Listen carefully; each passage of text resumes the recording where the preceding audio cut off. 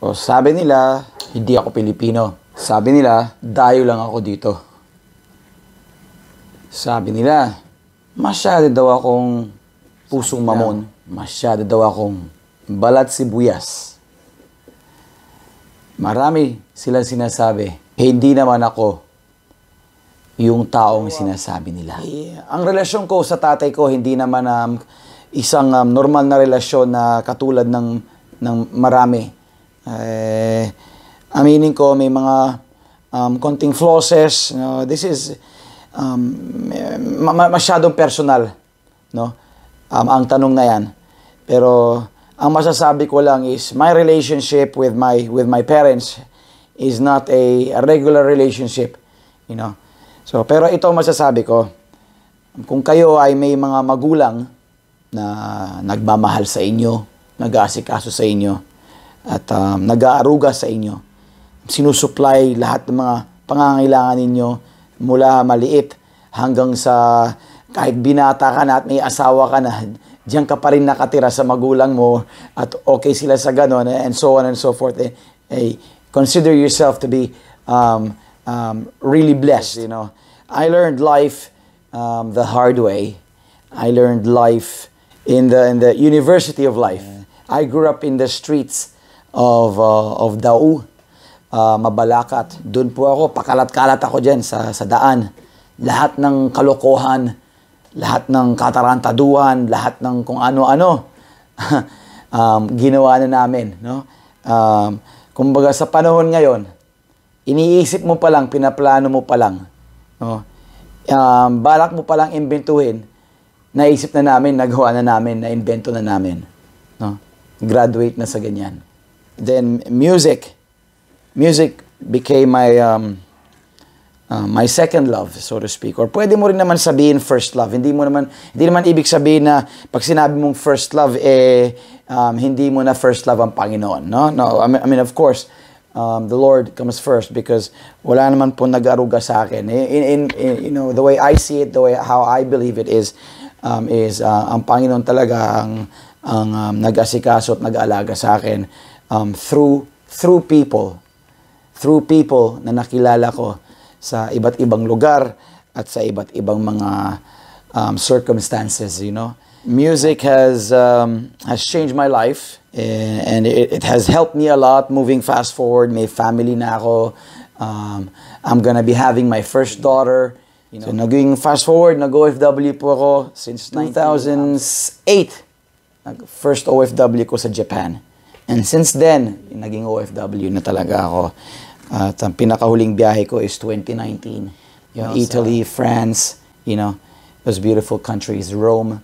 You, know, cannot really say anything about a person um, unless you get to know the person personally. You know, kilalanin mo siya, kausapin mo siya, uh, makipagkaibigan ka sa kanya, you know.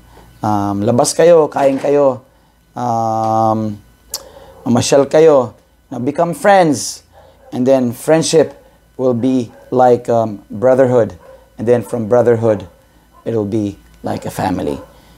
And I think this is what the, the page is all about.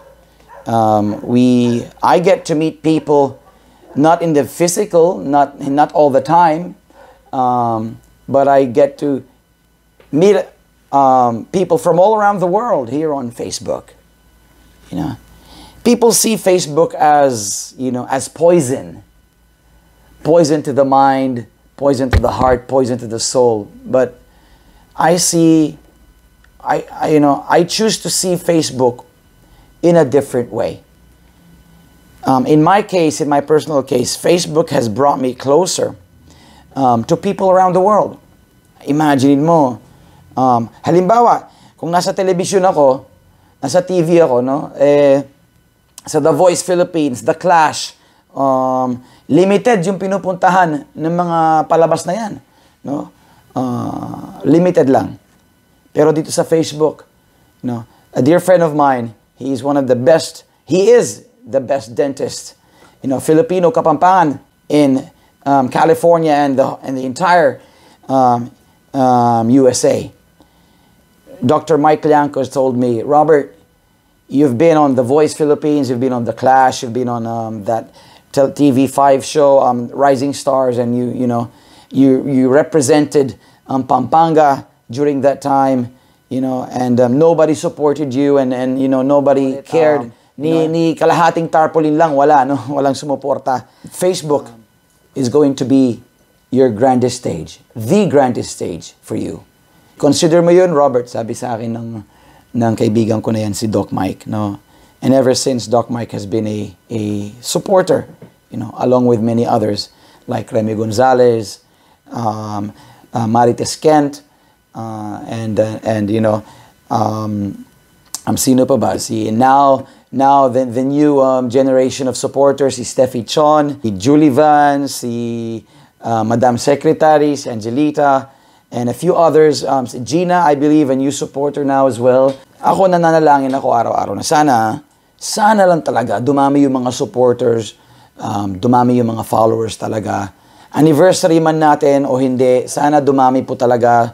Um, kasi po, malaki pong mensahe ang binibigay sa mga ibang nanonood, hindi lang sa Pilipinas, kundi sa buong mundo. Pag nakikita po nila yung, ay, ang daming followers, ay, ang daming supporters, oh.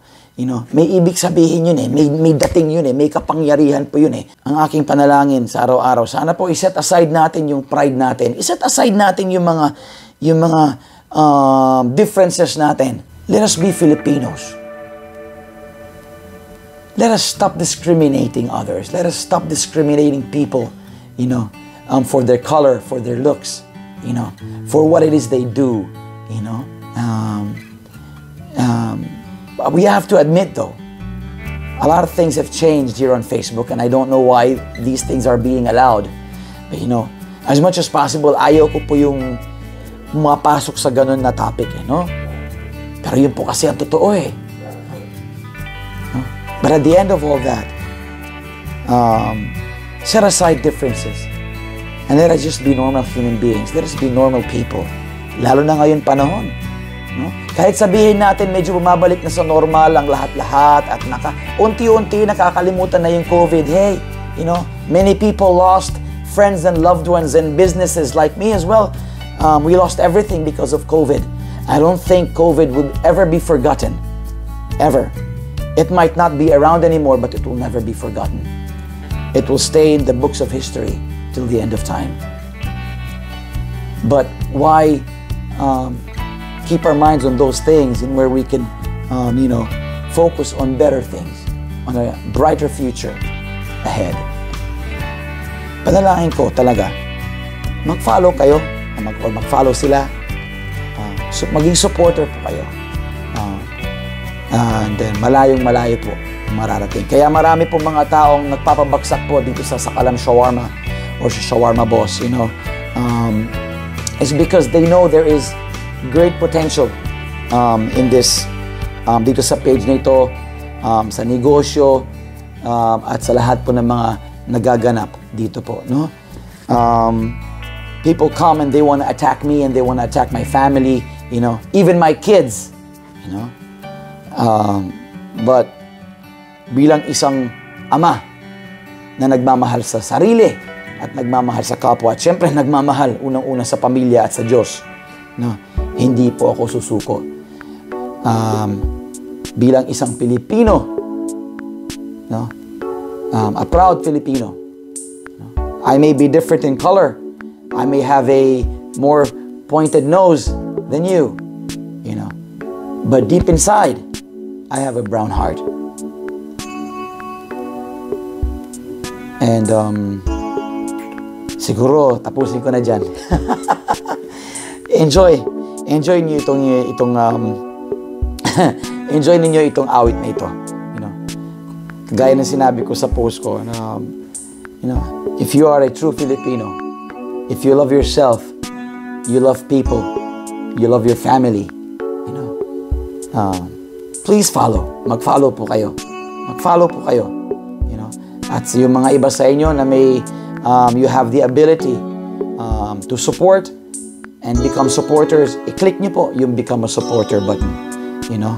Uh, pwede naman po kayo mag-cancel anytime pag ayaw na ninyo. No? Wala naman pressure to, wala naman pa sa, sa pilitan. Um, But again, I'm gonna leave my thoughts, leave you with a thought. And uh, and um, I'm speaking in English uh, mostly in these videos because so that you know people around the world will understand. You know? So my apologies for that. Uh, but I want to make sure that I get the message out there.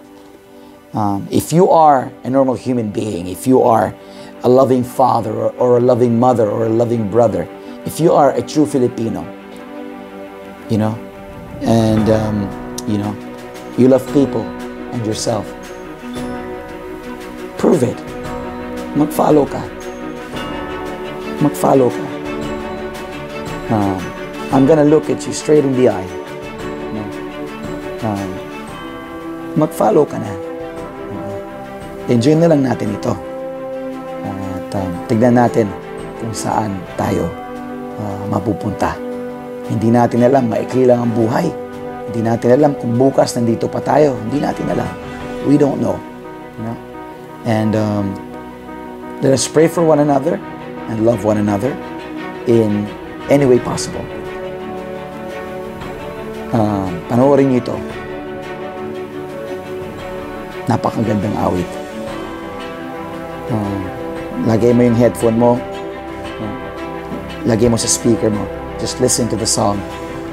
And I hope um, never, ever, ever na may magsasabi sa akin, ikaw dayo ka lang dito. Ikaw hindi ka Pilipino.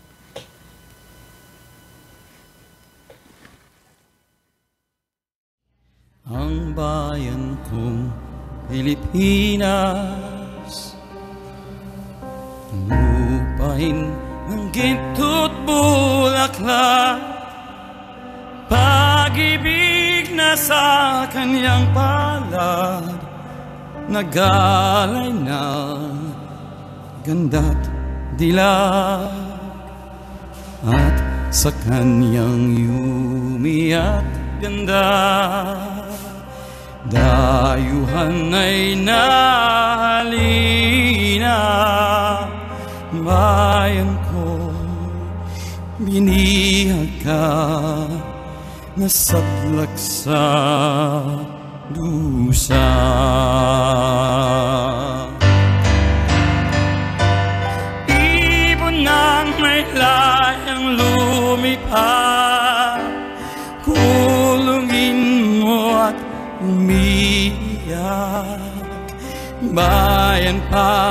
kayang sakdang dilag Ang di magnasang makalpas Pilipinas kong minumutya Pugad ng luha at dalita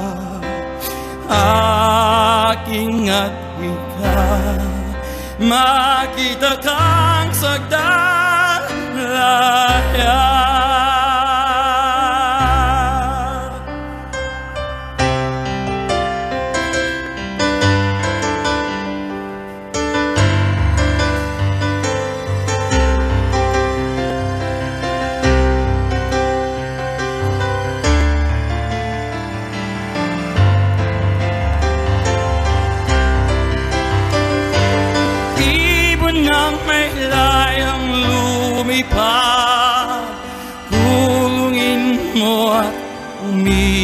umiyak Bayan pa kayang sakdal dilag Ang di magnasang makalpas. Ang Pilipinas kong minumutya Pugad ng luha at dalita. Aking at ika